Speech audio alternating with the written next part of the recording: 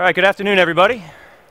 My name is Rob Daly. I'm a senior systems engineer with SwiftStack. This is Doug Soltesz. You want to introduce yourself? Hi, I'm Doug Soltesz. I'm a senior solutions manager at SwiftStack. And uh, our SwiftStack booth is right over there, so check these guys out after the uh, presentation. How's everybody doing today, all right? Everybody good? How's How everyone- SwiftStack people doing?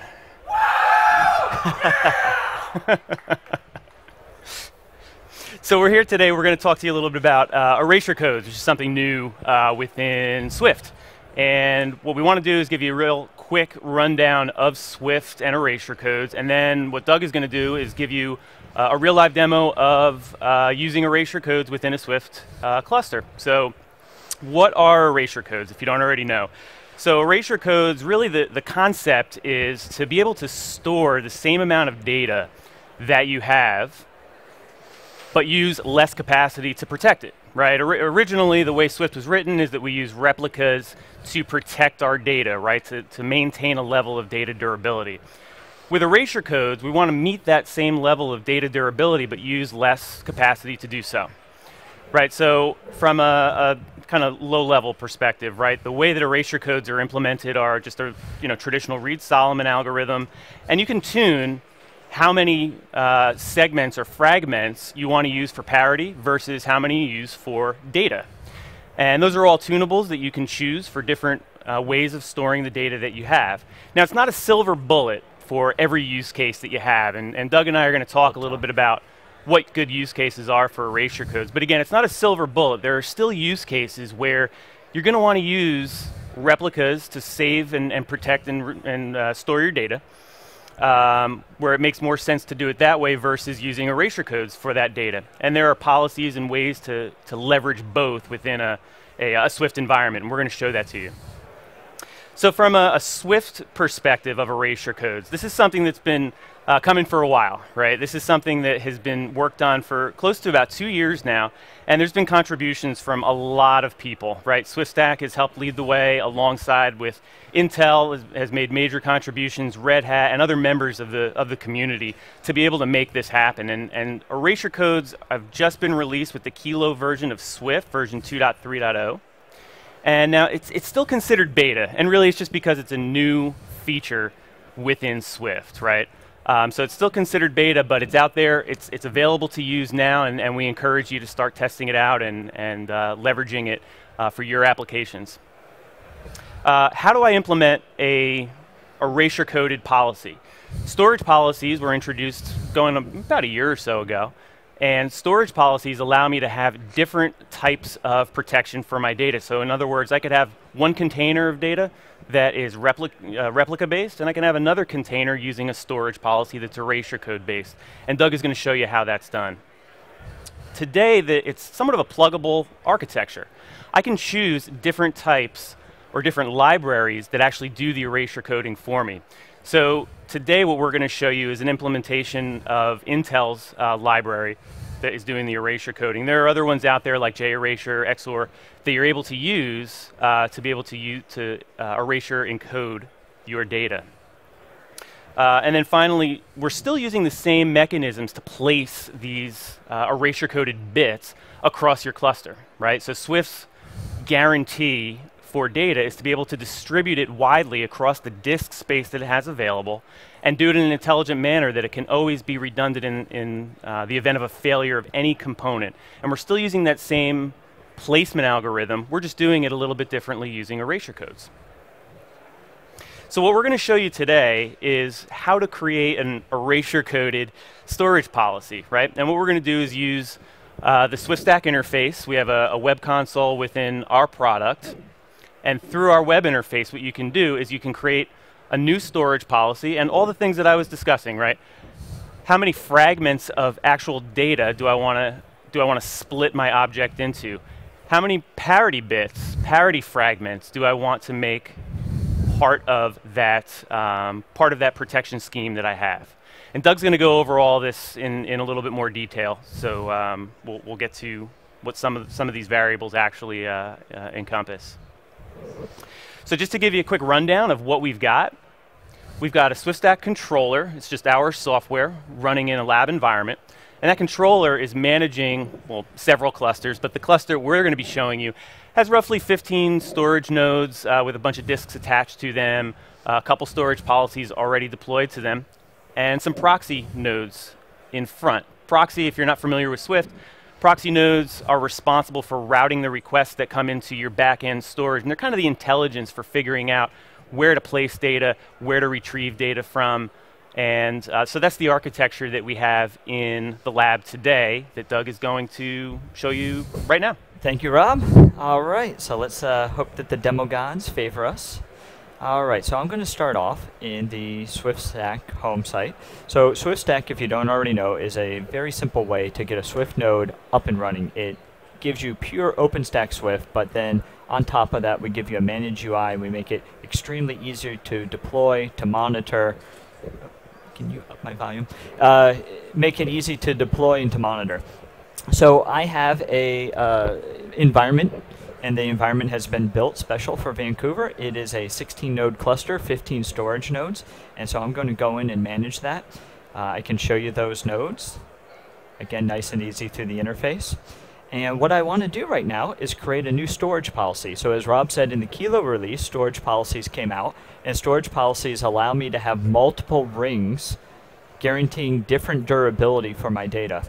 So I'm going to look, and right now I've got two storage policies implemented. One of them is a replicated one that gives me three replicas.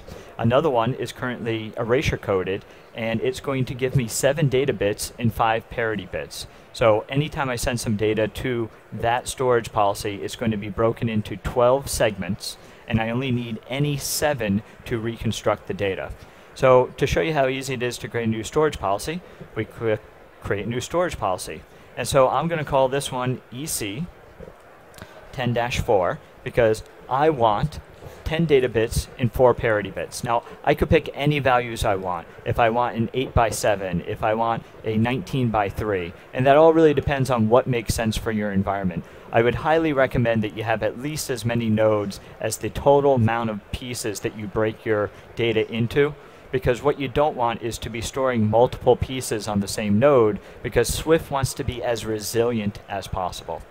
So the first thing I need to do is I need to drop down to policy type and I'm going to switch that over to erasure coding. And as you can see, the screen auto adjusts and gives me a few new options.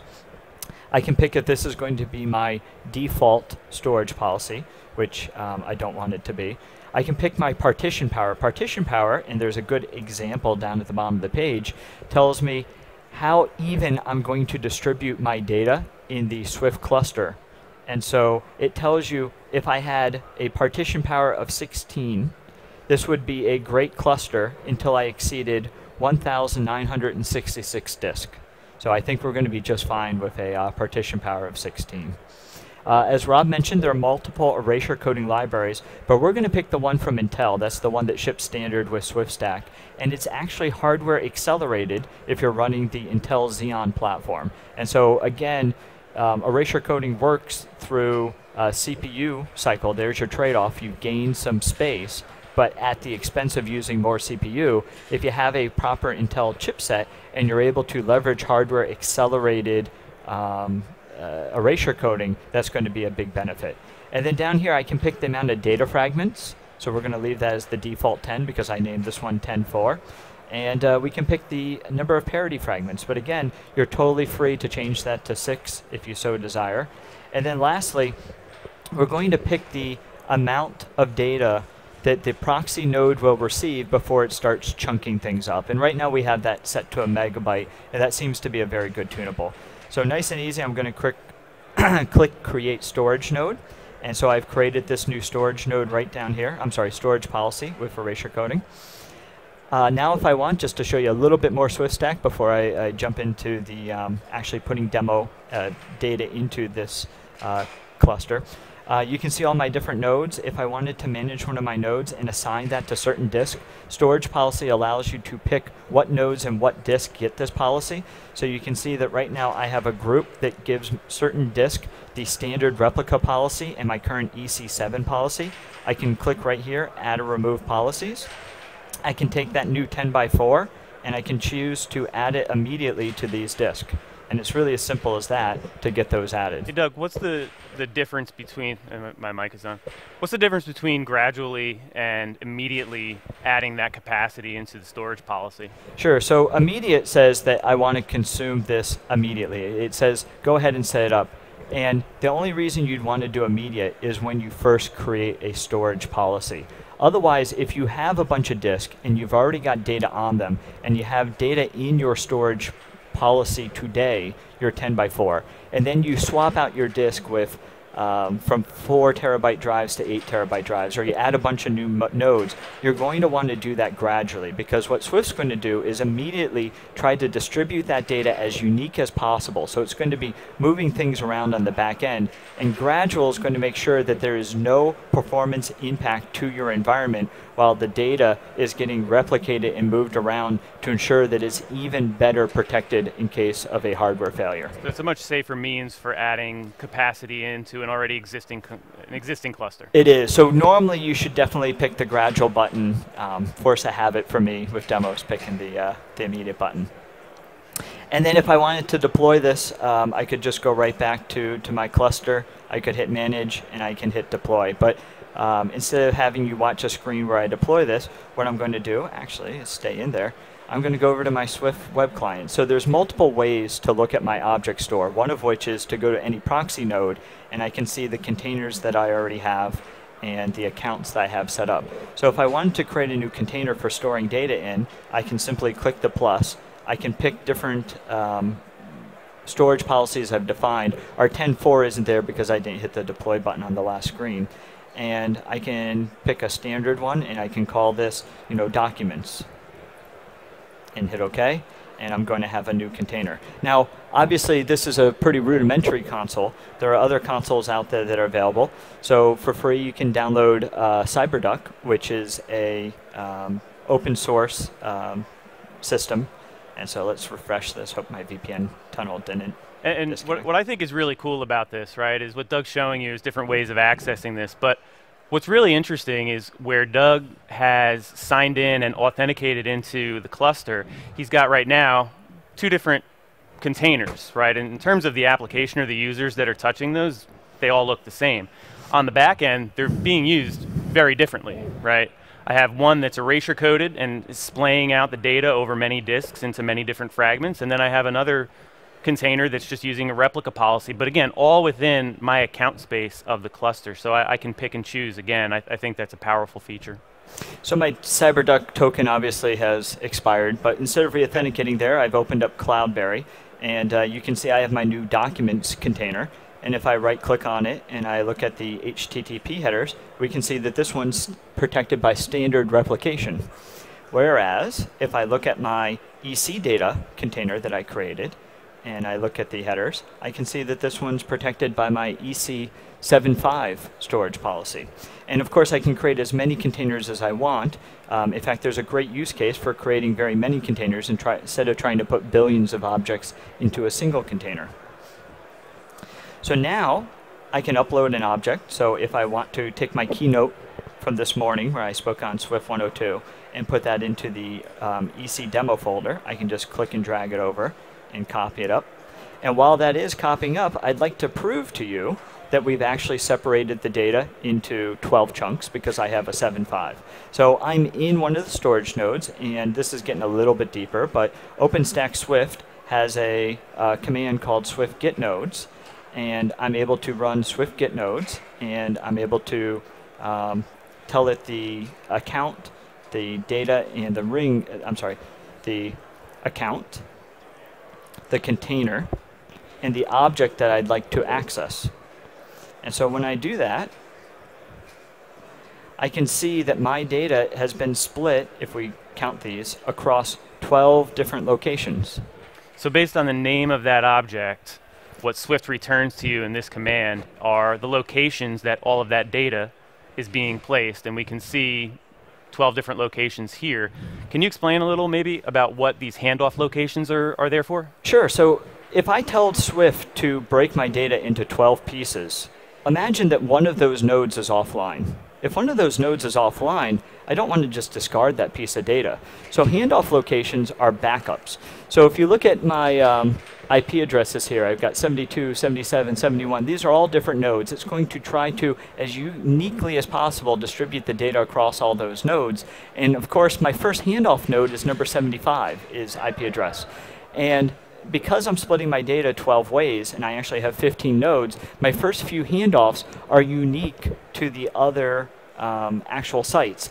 If Swift can, in all instances, it will keep the data as far apart as possible. So if I had 30 nodes, none of the handoff locations would overlap any of the actual data storage locations. But because I'm splitting it to 12 pieces, if I was to lose three of my nodes, then by the pigeonhole mathematics, there must be two pieces of data on the same server, and it will be able to recalculate, recover, and move those around um, dynamically. But again, those handoff locations, I think of them as like hotels, right? When the primary locations that are up there are not available for the erasure coded bits, they're just going to be temporarily stored in these handoff locations until the primaries become available again. So I think of it as like a hotel for your Yeah. data, right? Those are good analogy. Now, backup location. we're running a little short on time. Normally, what I do is I would jump into one of these directories and show you the little piece of data. But instead of doing that, let's jump back to the keynote, the slide deck.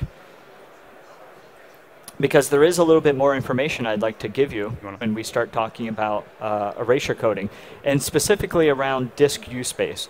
So the question is, how much data space is this going to save me? Because again, we're saving space. So we use a, a pretty simple example here, and we're going to say that we're going to split our data 15 ways, and 10 of those are going to be data bits, and 5 of those are going to be um, parity bits. Now again, they're not truly parity bits because we can pick any 10 we want.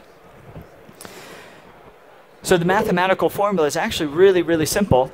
We take the total number of pieces we're splitting our data into, in this case 10 plus 5, 15, and we divide it by the amount of data bits I need to reconstruct, which means that 15 divided by 10 is 1.5. So for every megabyte of data that I send the Swift cluster, it will result in a use case or a use of one and a half megabytes of actual data being consumed out of my Swift cluster.